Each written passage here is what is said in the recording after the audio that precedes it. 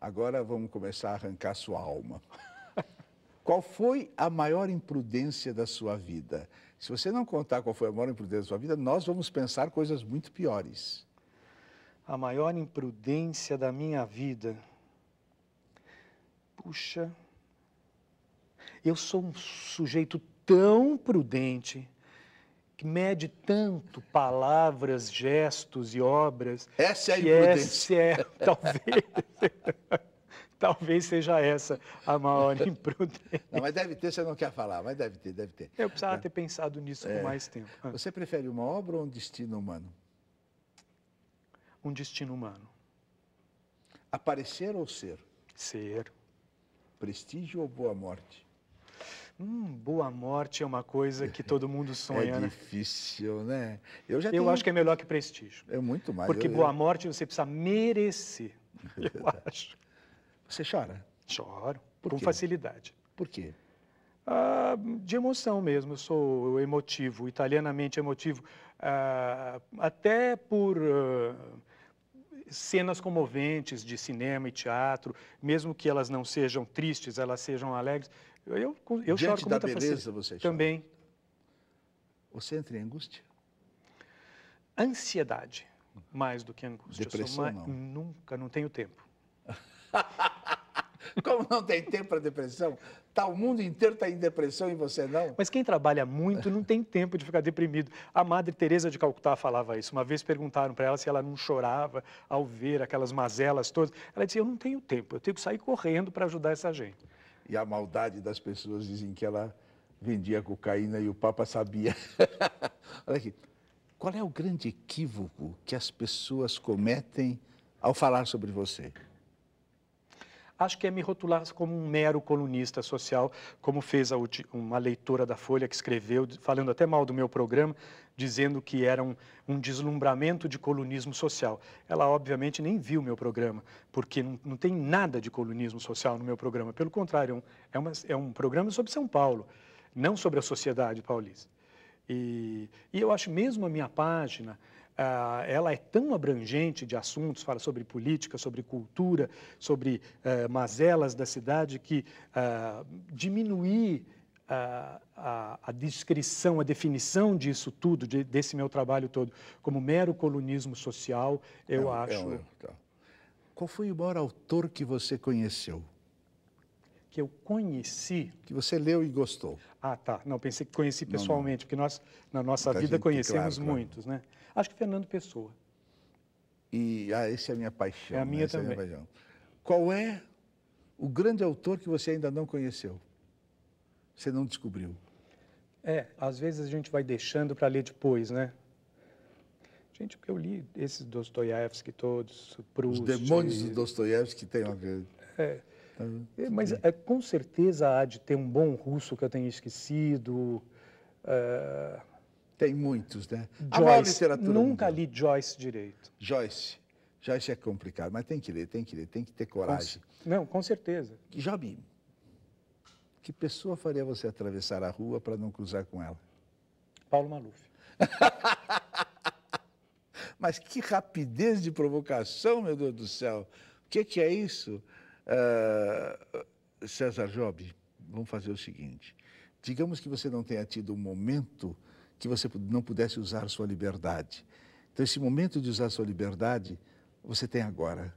Esse programa aqui, você pode falar o que quiser, pensar o que quiser. Você olha para aquela câmera e fala para as pessoas que estão te vendo tudo que você tiver vontade de falar. Esses erros das pessoas em relação a você, esses acertos em relação a você, a cultura brasileira. Fala o que você quiser para você terminar esse programa com a sua postura de homem e artista.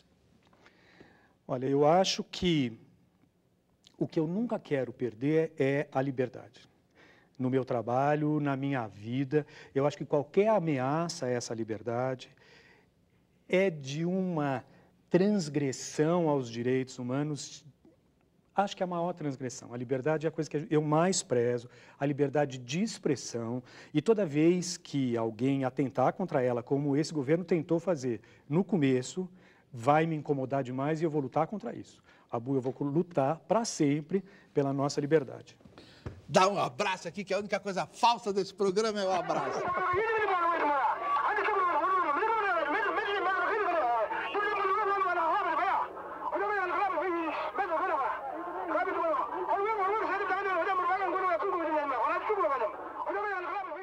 Epla, epla, epla, nova simpatia onomatopaica, recendente da beleza alfabética pura, um, um, um, kes, cres, blim, blim, blim, flom, flac, pa, pa, pa, pa, pa, pa, pum, pum, pum, hurra! Mas o estrangeiro vira a página, lê os telegramas da última hora, tão leve como a folha de jornal. Num rodopio de letras, todo mundo repousa em suas mãos.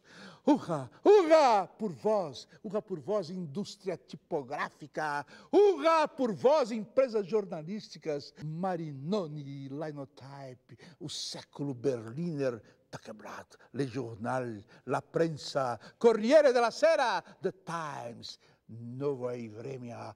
Por último, por último, desdobra-se a folha dos anúncios. Oh, oh, emotividade zebrante do reclame!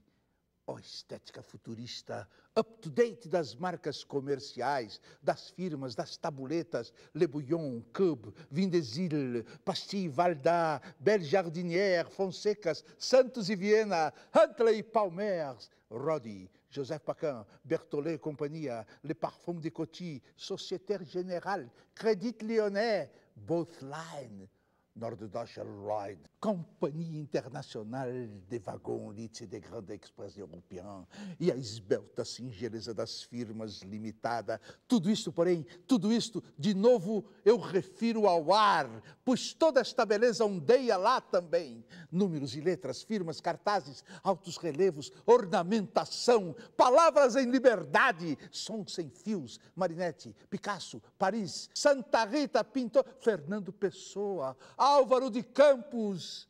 Antes de me erguer, lembra-me ainda a maravilhosa parisiense dos balcões de zinco, dos bares. Eu não sei porquê, eu não sei porquê. Vermouth, Cassis, Cassis, un Pernoilot, un Amer Citron, une Grenadine. Levanto-me, levanto-me. Derrota, derrota. Ao fundo, em maior excesso, há espelhos que refletem tudo quanto oscila pelo ar, mais belo através deles, a mais sutil destaque, o sonho desprendido, o luar errado, o luar errado. Nunca em meus versos eu poderei cantar como ansiara até ao orgasmo e ao ouro toda esta beleza inatingível, esta beleza pura. Ah, eu rolo de mim por uma escada abaixo, as minhas mãos aperreio, esqueço-me de, esqueço de todo da ideia que pintava, e os dentes, os dentes a ranger, os olhos desviados, sem chapéu, como um possesso, possesso. Eu decido-me. Corro então para a rua, aos gritos, aos pinotes, hira, hira, ah, tum, tum, tum, tum, tum, tum. Oh, bravo, bravo. Voet, voet, ziekte, ziekte, ziekte, ziekte, te, te, pra, ka, ka, ka.